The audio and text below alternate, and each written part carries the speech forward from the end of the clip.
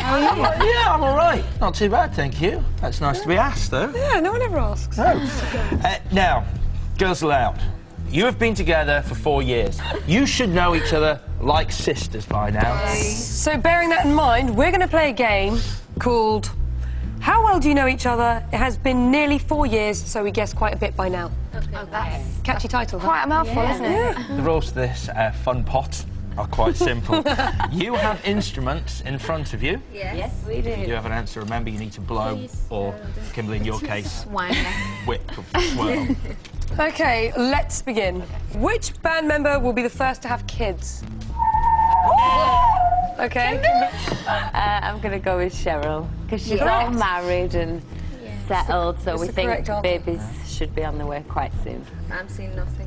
You're not saying anything. We have on the card uh, four. It's Literally, predicted. it's on the cards. Yeah, you've got, you've got four kids. Which member of the band is most likely to be heard singing a Girls Aloud? Oh, you don't know. Sarah. I love karaoke. Do you do What's your, your own favourite songs song? at karaoke? I used to do Mustang Sally. Mustang Sally. do you hire one of those karaoke venues where you get your own Yeah. room, or you do it in No, front you've got to have your own room because the last time I did it in front of lots of people, I got some daggers. Was that Wembley? Which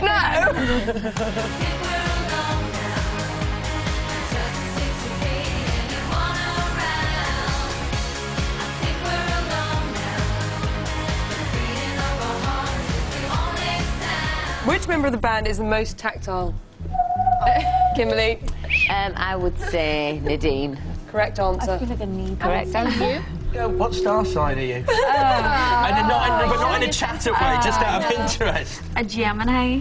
I'm Pisces, no, because I'm the same. Pisceans apparently give out a lot of love, but need a lot of love as well. Hence, I need constant hugs. Oh, do you find So that? do I, though. Yeah, it's nice. It's nice when you have somebody you can just sit beside and like hug or. Yeah. Get involved. Popworld dream come true. Thank you very much. Which member of Girls Aloud is most likely to vomit in the back of a cab after a big one? Howdy! Last time I was sick was I think the last time Sarah was sick. I was at her house and I was not... You're both being sick together. yeah, pretty much. Well, no, I was being really sick. Sarah was really helping me out. She really looked after me. Thanks, babes. We shared the basement, didn't we? It's nice when being sick you have that communal feel. That is the end of the quiz. We've just tallied up the scores. One moment, we've worked out that you all know each other really well. Although the actual winner is Nicola with 172 points. Well done. Well done, Nicola. Girls, thank you very much indeed.